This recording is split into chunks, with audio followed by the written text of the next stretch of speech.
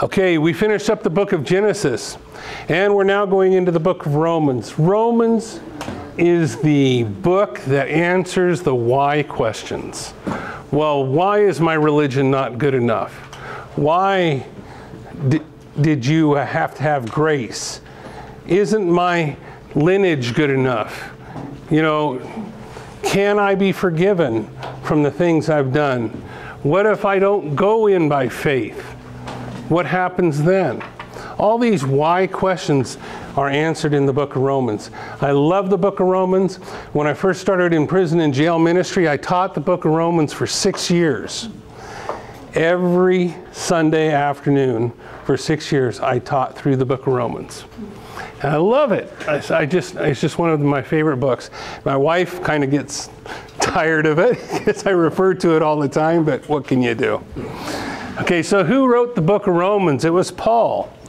And in, in the first uh, few verses, Paul says he's a bondservant of Jesus Christ. So, what is a bondservant? A bondservant is a willing slave. You see, uh, a person, when they decide they loved their master in Israel, slavery was based upon a basically a six year or seven year term. If you got into debt and you got into trouble, you went to this guy that could pay your debt and you sold yourself into his indentured servitude for a period of time, which is about seven years, and then you served out for seven years with this individual. If by chance during that period of time that you decided you liked your master and he was good to you and you liked serving him and you just loved the, this person that you were working for, you could say that you wanted to be a bondservant. And it had to be a public thing where he would take you to the doorpost of the tabernacle. You would profess that you want to be his servant for life. They would place your ear against the tabernacle doorpost, and he would drive an awl through your ear and then they'd put a gold earring in your ear, and that would symbolize that you were a willing slave of this guy for life. That's it. That's how that worked. And that's what Paul is telling us that he's a willing servant of Jesus Christ. But think about this Paul was knocked off of his horse on the way to Damascus, and God revealed himself to, to Paul, and Paul had a change of heart because Paul was headed to Damascus to persecute the Christians. And, uh, but I think that once he come around and he understood the gospel of Jesus Christ, things not only did he repent of it and do what God was asking, he had a total change of heart. Where did Paul write the book of Romans? He, Paul wrote the book of Romans in Corinth, one of the most corrupt cities ever. You know, in this nation, we used to say, well, you know, they were in Vegas. If you wanted to sin, you went to Sin City, and Sin City was Vegas that's kind of lost its thing now because the sins that were propagated in Vegas are everywhere now in this nation. It's just the truth of it. Okay? But Corinth was one of the most corrupt, uh, well, pornographic cities in the ancient world. The best word is pornographic. It was just pure wickedness on a scale that you can't even imagine. And when he wrote this was between 53 and 59 AD during the rule of Nero. And I've heard different commentaries go back and forth on the exact timing, but it was in the 50s. Okay? Is when he wrote it, and he wrote it during the rule of Nero. Now, when you read through the book of Romans, you need to take that into context to the people that he's writing it to. These people are seeing some of the hardest persecution that Christians saw. Nero would get Christians and he'd put them on poles and he'd cover them with grease and light them on fire to illuminate his gardens at night. That's the type of guy we're talking about. Okay? So when he's in uh, the first chapter, he says, I am not ashamed of the gospel of Jesus Christ. That's a bold statement during that time frame. That he would not be ashamed of the gospel of Jesus Christ. Because proposing the gospel of Jesus Christ could cost you your life and in a very painful way. Now, in uh, Romans chapter 1, verse 13, he tells us the exact why he wrote the book of Romans. And it states, Now I do not want you to be unaware, brethren, that I often planned to come to you, but was hindered until now, that I might have some fruit among you, you also, just as among other Gentiles. It was Paul's desire to see the gospel of Jesus Christ to go out, that people would grow in the faith, that people would become established as Christians, that there wouldn't be a half hearted Christianity or some religiosity being practiced. It would be true faith in Jesus Christ. Now, there, the other part of this whole thing is how Paul broke the book of Romans down. A lot of people don't think about it this way, but it's broke down in these three things faith, hope, and love. Faith chapters are from chapters 1 through 8. Hope chapters are verses 9 through 12, I mean, chapters 9 through 12. And the love chapters are 13 through 16. Now, faith talks about how our faith is established in Jesus Christ in the first eight chapters of Romans. Wonderful, wonderful work on this. And the Hope chapter deals with the fact that God's not done with the nation of Israel. There's more to come yet. Amen. And the fact of the matter is, most of this replacement theology that is rampant in the church today is actually antithetical to these three chapters, antithetical to God's plan. And also, if you have a conservative hermeneutic, a conservative interpretation of the scripture, and you believe in a pre trib rapture, Romans 9, 10, and 11, and parts of 12 support the, that type of biblical interpretation. And the love chapters, 13 through 16. Those how deal with how do you live as a Christian? The how to's. Well, if I do this, how do I do that? That's simply what it is. But here's the other thing, too. The book of Romans is such a dynamic book, such a literary masterpiece, that the law schools in this nation often have a course on teaching the book of Romans for argumentation, to teach people how to argue their point. Because, look, let's face it, Paul was a genius. Paul not only knew the secular world and its teachings, but Paul also studied under Gamaliel in Jerusalem, which was the highest, the pinnacle of the rabbis for the Jews at the time. He was it. If you wanted a good education, like an Ivy League education, Paul had it. And it's really interesting that he is held in contrast to the disciples, the, the first apostles, because most of those guys were just regular guys, you know?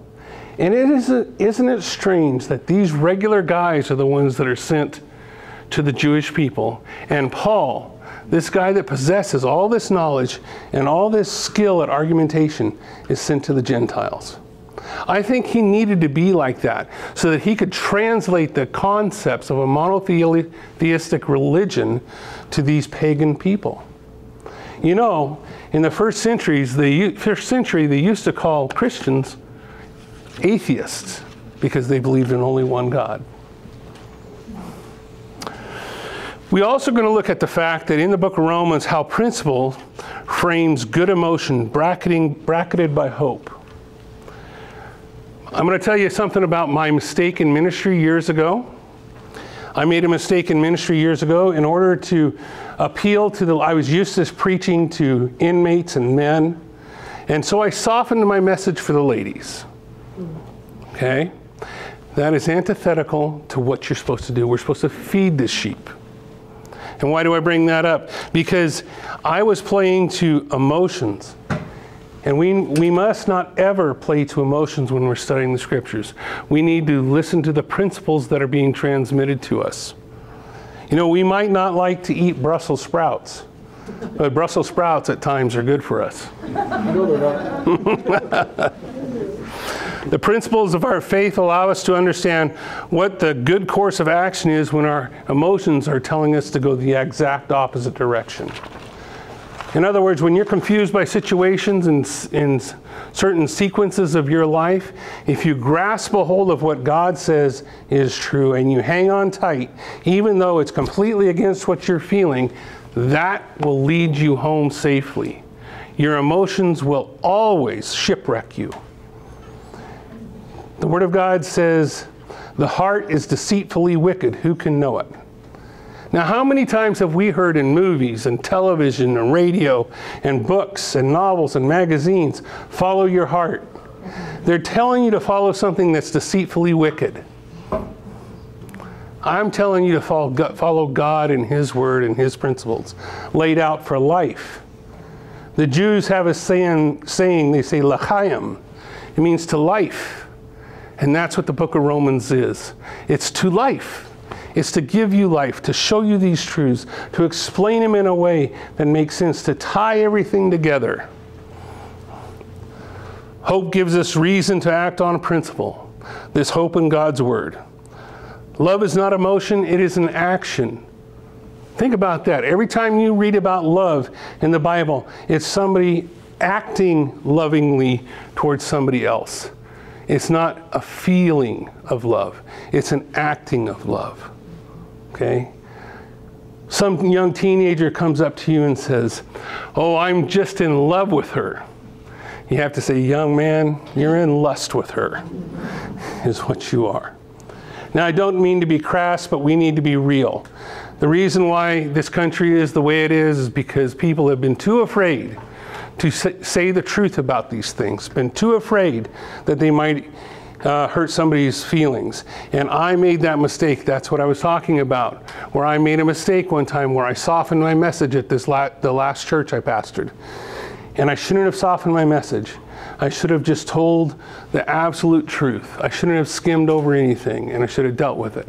But I'm not going to do that with you. And it's not because I'm trying to be harsh or unloving to anybody. I'm really trying to be loving because let me tell you, not a person in here, if they saw a two year old running across the living room floor with a knife in his hand, wouldn't snatch that child up and take that knife out of his hand, even if it was very abrupt.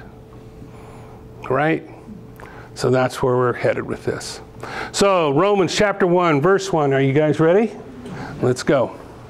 Paul, a bondservant of Jesus Christ, called to be an apostle, separated to the gospel of God, which he promised before through his prophets in holy scriptures concerning this, his Son, Jesus Christ our Lord, who was born of the seed of David according to the flesh and declared to be the Son of God with power according to the Spirit of holiness by the resurrection from the dead. Through him we have received grace and apostleship for obedience to the faith among all nations for his name, among whom you are the called of Jesus Christ.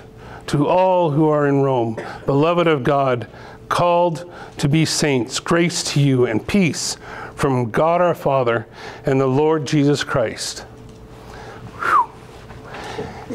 It's, it's to me, it's almost like poetry to read what Paul writes. Just his way of writing.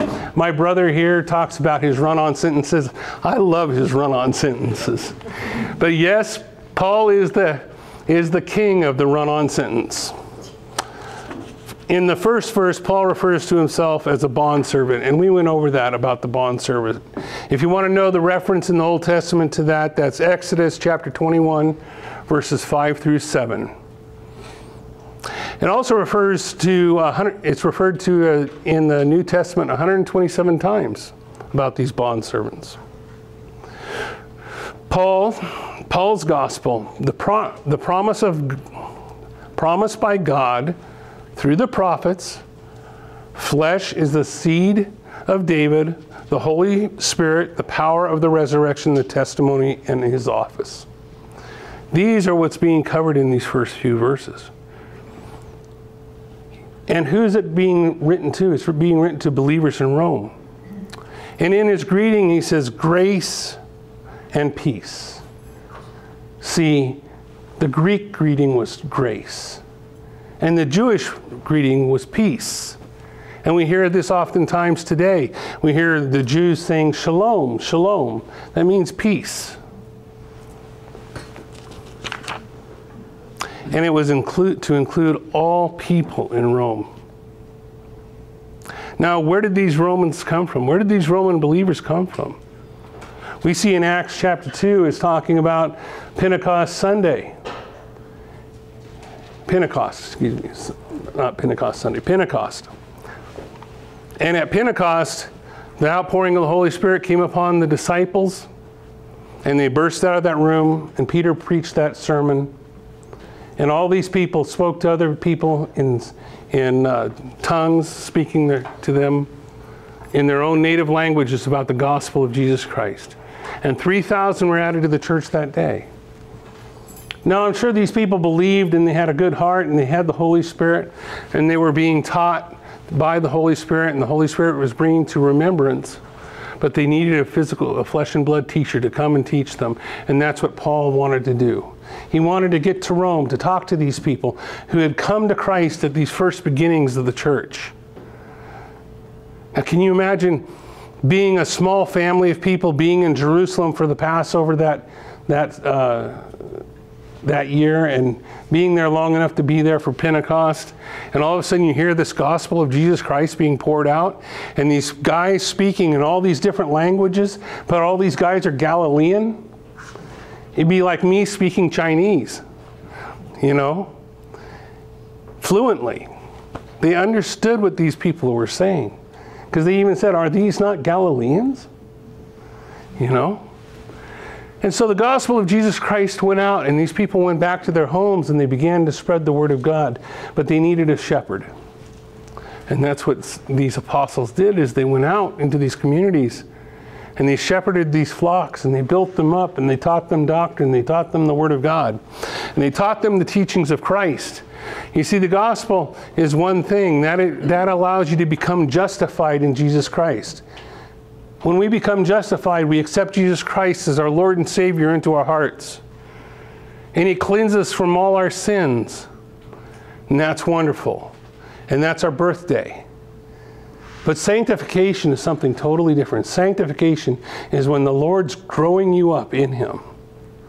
That takes a little mentorship, that takes some scriptural knowledge. That takes some time in prayer and spending time alone with Christ. Because we don't, even today, with the revelation of God's word to us that we have, even today we struggle with why does this happen to God's people? We don't know the answers to all these questions. But we do know who, who allows it into our life, who lets it filter through his fingers into our life to grow us up, to sanctify us into Jesus Christ. That's what it's about. This book is not to unbelievers, this book is to believers. But yet, you can take the book of Romans and you can lead somebody to Christ through the Romans road, which is Romans 3:23. All have sinned and fallen short of the glory of God. Romans 6:23, for the punishment of sin is death, but the gift of God, of God is eternal life in Christ Jesus our Lord. And then you go over to Ephesians 2 8 and 10, 2 8 and 9. For by grace you've been saved through faith, not of yourselves, not of works, lest anyone should boast. It is a free gift of God. Then you go back to Romans 10 9. If you believe in your heart that God raised him from the dead and profess with your mouth that Jesus Christ is Lord, you will be saved. That's the Roman road. And that's for unbelievers and believers alike. It's for unbelievers to bring them to Christ, it's for believers to remember who they are in Christ.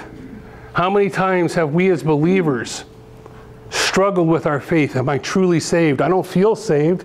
Am I saved? I keep doing the same bad thing over and over again. Why is this?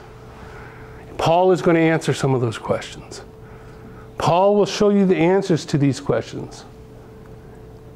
Listen in these next few chapters. We have some great teachers here.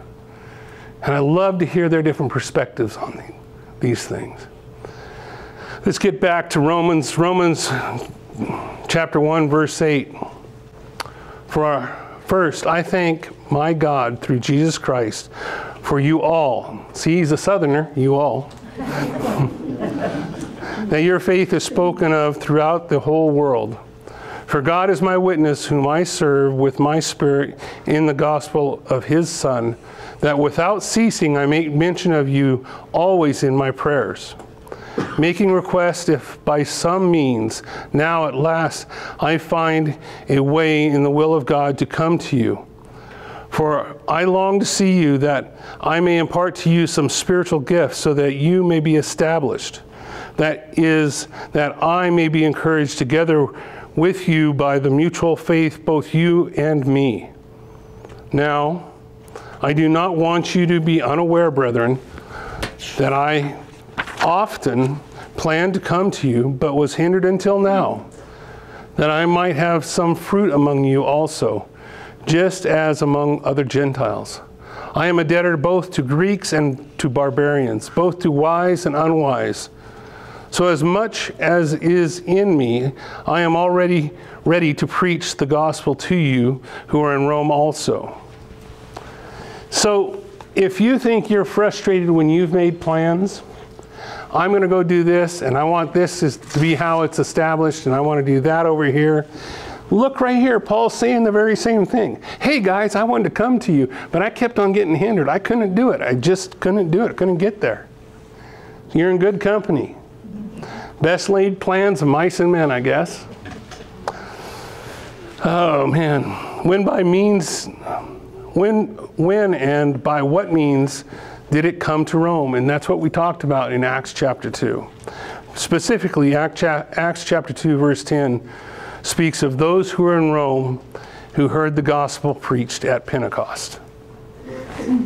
If then the first believers from Rome witnessed the miracle and the filling of the Holy Spirit, Paul in verses 9 through 12 refers to it as a starting point. By the witness of God, Paul, Paul's spirit slash service to prayer for them. Think about this. Wouldn't it be awesome if you heard that one of the apostles was praying for you and your church? Would that bolster you up? You're under this great persecution. You don't think anybody cares about you. Life is becoming extremely difficult. You worry about your wife and your children, or your husband and your children. Because the Roman guard could knock down your door at any time, break into your house, take you away, and that would be it. And you would have no idea what happened to them. But you know that you're facing certain death. You're facing martyrdom. But all you'd have to do is forsake your, your God. You'd ha- all you'd have to do is forsake Christ. And you wouldn't have to worry about it. Sometimes these they burn people or they killed people, martyrdom, for simply not putting a pinch of incense on the altar of the emperor. Just that simple. Renounce Christ. No, Christ is Lord. See, that was treason in the Roman Empire. They were literally committing treason saying that Christ was Lord. Because in the Roman Empire, Caesar was Lord. So this is where they were drawing the line on things.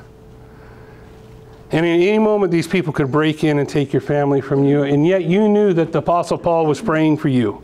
And he cared for you as much that he had been trying to get to you, but things kept getting in his way. And also, Paul was not afraid of extending his hands out and working with the Greeks, and he says to the barbarians, he, that he, he had debts to these barbarians as well as the Greeks, who helped support him in his ministry both to wise and unwise. There's, you know, we have wise and unwise people with us today. But don't take that to heart because we get on further in this chapter. We're going to see what God has to say about that. Let's move on. Romans verse 16. For I am not ashamed of the gospel of Jesus of Christ, for it is the power of God unto salvation for everyone who believes, for the Jew first, also for the Greek. For in it the righteousness of God is received from faith to faith, as it is written, the just shall live by faith. This verse is what sparked the Reformation. This is what excited Martin Luther. Martin Luther had gone through years of self flagellation, of denial, of fasting, of going to different monasteries, of studying, and he come across this, and it lit up in his mind in his soul that just shall live by faith. And thus began the Reformation. And they began to study soteriology, the doctrines of salvation. And he began to understand that faith was from the beginning, just like in Hebrews chapter 11. Read Hebrews chapter 11 on your own time, the great hall of faith. It was by faith from the beginning, as it is faith today, as it will be faith during the tribulation, as it will be faith after the tribulation. It is by faith. The just shall live by faith. But many people don't know that he was quoting from Habakkuk 2 4. And in Habakkuk 2 4, it reads, Behold the proud, his soul is not upright in him, but the just shall live by his faith. Paul was quoting Habakkuk, an Old Testament prophet. So these are not New Testament ideas, this is an Old Testament principle. That it's by faith that we enter in. And I told you about in Hebrews chapter 11, the rallying cry of Luther and the reformers. This is what spawned all this stuff having to do with Protestant churches. But I like to think that the God had a remnant within his churches down through history, just as he had a remnant in Israel during Elijah's day. He has a, had a, he's had a remnant within the churches all the way down until present day. Just the doctrine of salvation had been muddied up and the Bible went out into the world again.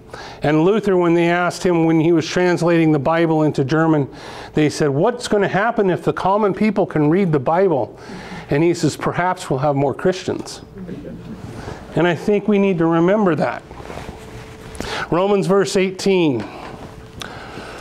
We're getting ready to head into this section here that's talking about things, and many times people use this last half of Romans to bludgeon people about their sexual moorings, to point out that God is not happy with it. But I'm going to tell you about something, a different perspective about it, and it's not her- heretical.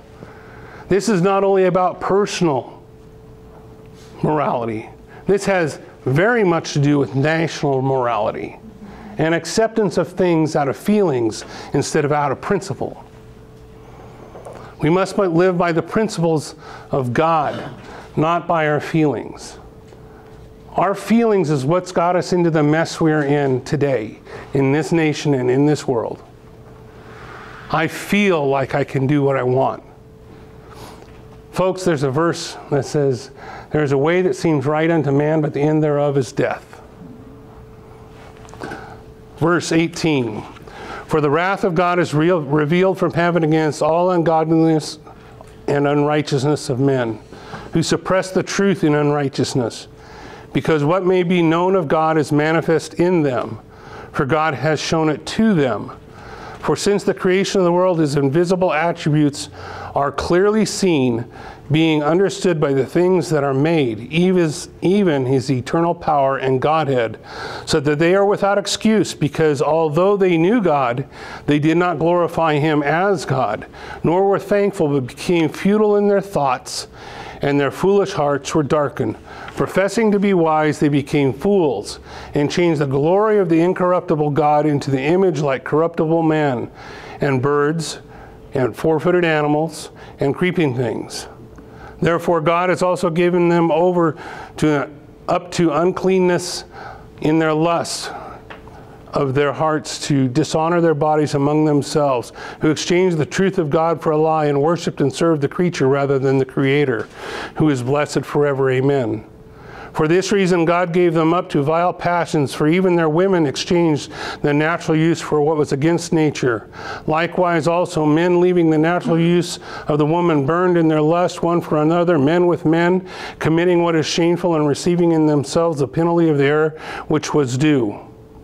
And even as they did not like to retain God in their knowledge, God gave them over to a debased mind to do those things which are not fitting being fi- filled with all unrighteousness, sexual immorality, wickedness, covetousness, maliciousness, full of envy, murder, strife, deceit, evil mindedness. They are whisperers, backbiters, haters of God, violent, proud, boasters, inventors of evil things, disobedient to parents, undiscerning, untrustworthy, unloving, unforgiving, unmerciful, who knowing the righteous judgments of God, that those who practice such things are deserving of death, not only do the same, but also approve of those who practice them. Now, I read that in one large chunk because I really think you need to hear that in one, one large chunk. Now let's break this down. Verses 18 through 21 gives the answer to those who say, What about those who have never heard the gospel? And the answer is in those verses. The answer is if no one has has talked to them about the gospel, God has. God has given them his testimony in creation and in their hearts. It is still a matter of faith. So if nobody's reached the unreached people, God has still spoken to them in their hearts. How many times have we heard stories of missionaries where they're talking to a, some tribe that has never heard the gospel of Jesus Christ and they respond back, Oh, we know this guy. We, we know this person whom you're speaking. We just didn't know his name. That's happened time and time again. But God also says that He speaks to them clearly we see creation, and if you have a little intellectual honesty, you have to say, somebody had to create all this. This is not by chance. This can't be by chance. You see, in science, there's the law of causality. There has to be a cause. And so, oftentimes, atheistic scientists lean on the laws of causality to fit their experiments, but when it comes to the fact of where did it all come from, they go back to, well, it came from nothing. God says that's craziness. There is a cause, and there is, and God is the causality of everything. Verse 18, they suppress the truth. Suppression of truth is a sin it is a lie of omission. Make no mistake. Don't second guess that. When you hear somebody say, Well, I'm just protecting, well, you know something? Sometimes we need to hear the truth, but the truth needs to be spoken of in love. Sometimes we need to hear the truth about ourselves, and sometimes that's the hardest thing to hear. But we need to hear it and we need to receive it. And then we need to adjust whatever it is accordingly. Verse 19 God has shown it to them. God's shown himself to them through nature, through speaking into their hearts. From the beginning until now, God has been showing them, so there is no excuse. So, when our hearts go out to these people and we, we feel guilty, because I hear this from people at times, often people that are reluctant to come to Christ. Well, I'm not going to come to Christ because Christ hasn't been preached to everybody. And it's a, just a, a crazy, crazy statement. You're not going to come because they haven't heard? Well, hear the gospel and go tell them. Right? Simple. But that's why people they run, they try and find some kind of excuse not to do that. Let me tell you, if somebody says they're not ready to accept Jesus Christ, it's because they don't want to give up their sin. They're afraid that if they accept Jesus Christ, their lifestyle is going to have to change. They don't know that God will help them with the change. And here's another thing you don't have to clean up to come to Jesus Christ. Come to Jesus Christ and He'll wash you up from the inside out, and then you will truly be clean. Amen. How many times have we talked to people and they feel convicted about coming to church because they're doing all the stuff they're doing? And they misunderstand it. We're like little children to Him. Does a little child tell his mother, Whoa, whoa, whoa, don't touch my diaper? Let me go clean it up. And then we can talk. You know?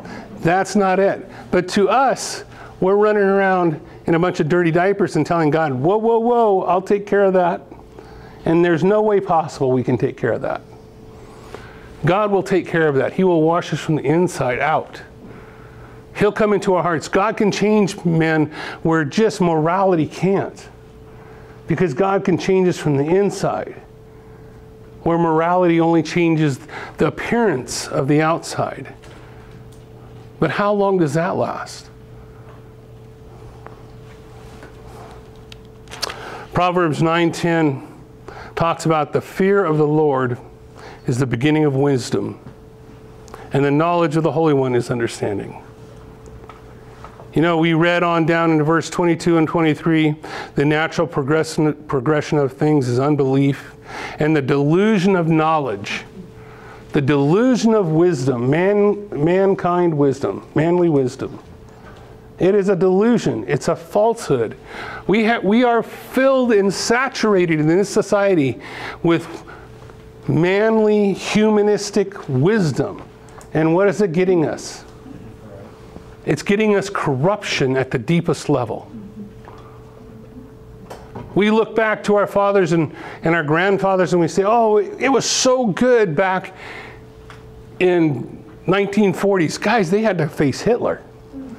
They had to face the World War II. They had all this stuff going on. They had their problems too. But the one thing they didn't have, they had that we don't have, is society in general had a moral compass. They had and they knew the Word of God where we don't. You see, we're to study to show ourselves an approved workman, rightly dividing the word of truth. We're to study the Word of God. It's our responsibility. And that's why Proverbs 9:10, the fear of the Lord is the beginning of wisdom. We've lost the fear of God in this country. Fear of God. Now that has some people upset. But to me, fear of God talks about the reverence for a father. And it should for you. I remember as a little kid going into church, and I went to this Presbyterian church in Weiser, and I can remember walking in there and this awe that I was in God's house. We have lost this awe of approaching God. Yes, we can come into our into the throne room of heaven boldly. We can boldly approach the throne when we've been bought and paid for by the blood of Christ. But heaven help us if we haven't truly placed our faith in Jesus Christ and his finished work on the cross because then we are not children. And the only way we need to prove that the wise, declaring them, thinking themselves to be wise, they have become fools, just watch the nightly news and the examples of all the all the experts they parade across the TV and the wokeness and this and that. Look at the people that get fired from these corporations for standing up for morality. Just the simplest things. I believe that marriage is between a man and a woman, and somebody's going to lose their career over that. The world has gone crazy because Christ is about to return. Verse 22 When we don't worship God, we will worship something. So here we find that the true birth of idolatry as a refusal to worship the Creator. The rest is window dressing.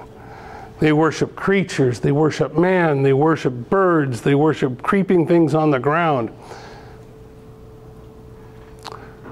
Worship in cultures sold out to this, most notably, would be India, where there's over 2 million gods that are worshiped now each one putting the worshiper deeper and deeper into bondage. But it doesn't stop there. Worship of self is our culture, where the personal accomplishment is the pinnacle of existence.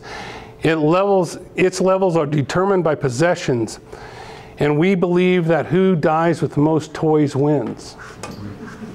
If that isn't idolatry, I don't know what is. Then the worship of man is communism, with its doctrines of evolutionism, insists that we are the end and unto ourselves, that we can become gods, masters of the universe. That's communism, socialism, evolutionism. What about the worship of religion? Oh, I like all the rituals. I like, I like that stained glass window. I like the robes. I like that. I feel so pious getting up and getting down, getting on my knees, saying this prayer, putting this oil on here, doing this, doing that, doing all these religious activities, burning my incense. Worship of religion is that we can become good enough to warrant the favor of God, or that we may transcend to his level. What was the first lie told in the Garden of Eden? It was, You too can become like God, knowing good and evil. But think about that lie. All Satan was really offering Eve was evil. She was living in good and knew nothing else. All he really offered her was evil. And she accepted it. And so did Adam. There is nothing that is different from the beginning until now. You want to spot a cult, you want to spot an ism, you ask, how do, how do you become saved? And if they say anything other than through Jesus Christ and his shed blood on the cross and faith in him, anything else, it's a cult, it's an ism. They're trying to let you work your way to God some other way. These are the things Paul will be talking about in the book of Romans. This is the beginning of this book. This is the most highest form of literature. It is the best treatise on religion and philosophy that we have. Paul was an amazing guy, but he was an amazing guy who was inspired by the Holy Spirit. And the Holy Spirit spoke through Paul to us through the book of Romans. I invite each and every one of you to come back each week and go through it with us. And soon you'll understand why I love this book so much. And I'm so passionate about people learning it. Verses 24 and 25 declare the judgment. This is what I was talking about this is what I was talking about where the nation begins to accept homosexuality as norm. It, it becomes accepted. And not only that does it become accepted, you're a pariah if you say it isn't normal. This is a judgment. God turns them over to a debased mind. He turns them over to an insane mind. They have become insane in their lust. The problem with lust is once you get to begin lusting after something and you achieve it, it isn't what you thought. And so you develop another lust about something else and you try and achieve that, and that doesn't solve it. And on and on and on until your lust finally kills you in some form. Our country is under judgment because we've accepted homosexual lifestyles as normal. Our country is under judgment because we don't know what a man and a woman is, and we appointed a Supreme Court justice who couldn't define what a man or a woman was. Guys, thinking they are wise, they have become fools and exchange the truth of God for a lie and worship and serve the creature rather than the creator.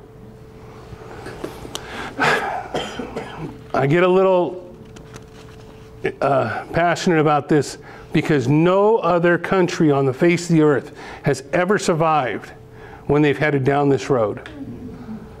None of them. And we're headed full steam down these tracks towards the edge of the cliff. So, this is what I'm talking about Christ told us in John chapter 15, verse 12, This one command I give you, that you love one another even as I have loved you. This is where we need to lovingly speak the truth into the lives of the people around us. And sometimes that is the most difficult, painful, emotional thing that will ever happen.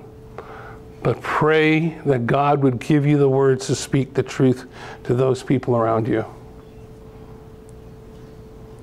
Just pray for it.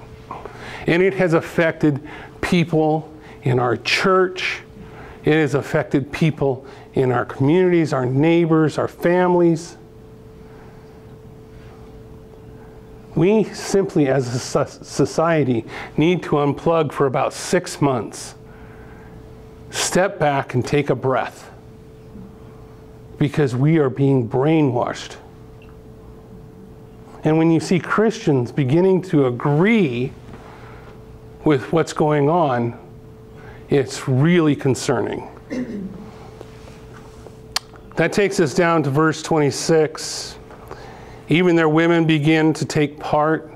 So often, women in cultures have been the holdback of corruption because they had the most to lose in corruption.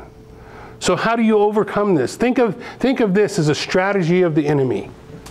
How do you overcome the morality of women in society so you can totally corrupt it? Well, that's pretty easy. One, you pit the wives against the husbands and you say they're just holding them down. Two, you establish a welfare state.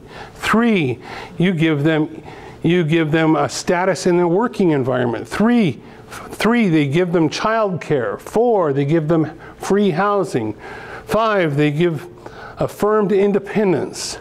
And six, the community family instead of the family, the husband and the wife. In other words, it takes a village to raise a child. This is how you corrupt a nation. Yes, the men have responsibility, but at this point in time, they're attacking the ladies. And men, you ought to stand up as men of God and defend the ladies and say, "You, I love you, honey. I want to be your provider and your protector." These are discussions my wife and I had because we were both train wrecks when we met each other. We both tried everything and were total disasters. And we said, well, we got to give we got to give God a try and we got to give him a try 100%. And thank God my wife is an all-in type of lady because I'm an all-in type of guy and we tried it and our lives turned around. And I would encourage each one of you to be an all-in Christian. Each and every one of you. There's things I don't want to do.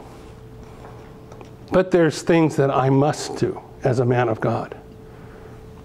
But here's the other thing about this anytime God's talking to men, he takes about six verses to tell them that, what he wants them to do. Anytime he's talking to ladies, he says, Ladies, submit to your husband.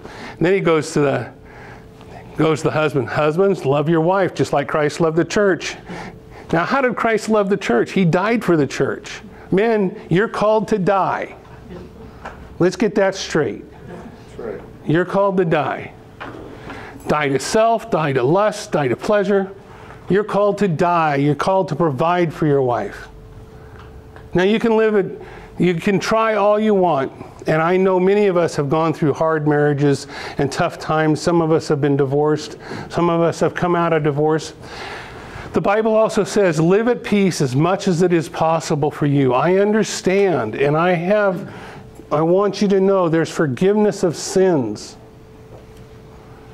There's only one unpardonable sin, one, and that's dying without acknowledging Jesus Christ as your Lord and Savior. Because in that you call the Holy Spirit a liar. That's the blasphemy of the Holy Spirit. That's it. So, men, the ladies will come along. You just have to be the man of God. You have to be the leader of your house. You have to put down your pornography. You have to put down your vehicles. You have to put down your guns and your hunting. You have to put down everything except God first in your life, then your family, then you. That is the appropriate order. Then we begin to see revival. Then we begin to see a turning around of this nation. Then we begin to see people changed. See, judgment begins at the house of God. It always does. Let's clean up our house and then let's go out and tell others about how great it is to live for Christ. Because I can tell you, because I've lived the other life, this is much better it's much more fulfilling than living that other garbage. waking up and trying to remember where you were. Where am I today? You know? Not only that, is you can lay your head on your pillow at night and sleep. You don't have to think about, oh boy, what did I tell them? You know, to cover up for my sin. Now you're free. Jesus Christ talks about freedom, doesn't he? You know, there's nothing that is better that I can come home and I don't have to worry about anything about coming home to my wife because she knows everything. Sometimes she knows too much, but she does know everything about me. Okay. Guys, then we go on down to verse 26 and 27. You know, think about the curse. Genesis chapter 3, verse 16. Women were given a desire to rule over their husbands, and husbands were given the charge to rule over their wives. And his work that he was to enjoy became full of thorns and stickers. Now, think about that. One wants to rule, another one doesn't want to rule. But the one that doesn't want to rule is supposed to be in charge. Okay? It's a mess. But when we submit to God's perfect plan, life gets a whole lot easier and a whole lot better. Proverbs 14:12. There's a way that seems right to a man, but the end thereof is death. I was trying to walk my life the way I thought was right. I would accept part of God's law, the ones I liked eye for an eye, tooth for a tooth. All right? But the parts about self sacrifice and putting others ahead of myself, I did not like it. I didn't want to live by it. And I'm going to we're going to cut to the end of this real quick. Not because I'm trying to cut, it, cut this off, but I can wrap this up in an idiom that's used in our culture today misery loves company. You see, in the last few verses of chapter 1, it talks about the fact that they approve of those who practice the same, even though they know that it brings upon the righteous judgment of God. They know they're under the judgment of God. Yet they're going to propose to stay the course, and they are approving of these people, trying to affirm this lifestyle. Does that sound familiar?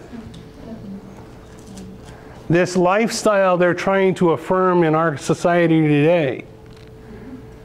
We are living in Romans chapter 1. So when people say, Do you wonder if the nation, if the United States is under judgment? My answer is yes. The United States is under judgment. And it can get far worse before it's going to get better if we as Christians don't act like Christians. Last week I told you about what Mahatma Gandhi said. He would become a Christian if it weren't for the Christians. Now, I hate to say that because that's a scathing indictment of us. Because the first century Christians, they, their enemies spoke about how they loved one another. I would encourage and challenge each one of you to love those who hate you, to pray for those who despitefully use you, to live out these principles Christ has set out for us. Don't just let them be platitudes. Live them in your life. Guys, this is our solution. We want to go and solve something through elections and all this, and we elect somebody and we think that this, oh, this person's a Christian, this is going to solve it, and then we find out they're as corrupt as the next guy. The only thing that will solve any of this is Jesus Christ. Yeah. And that's it. He is either going to solve it for us through rapture or revival. But don't think this is the only time that our nation has ever been here. Sometime take some time and read some history about the Great Awakening. Read what this nation was like just before the Great Awakening. It was terrible. It was like this time, very close. All right, guys, let's pray.